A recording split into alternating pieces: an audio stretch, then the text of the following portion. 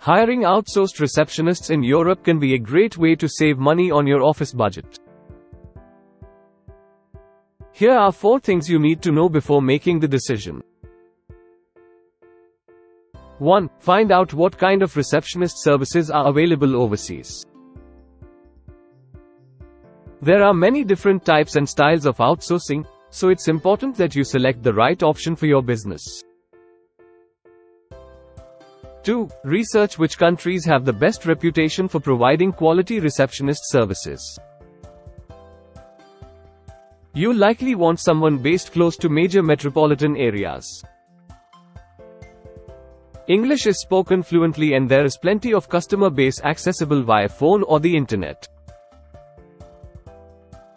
3. Make sure that whoever you choose has experience working within an international environment. Someone who understands how to handle communication with customers from various cultures. It's also helpful if they have prior experience working with software like Skype or Google Hangouts, which many businesses use as their primary teleconference tool.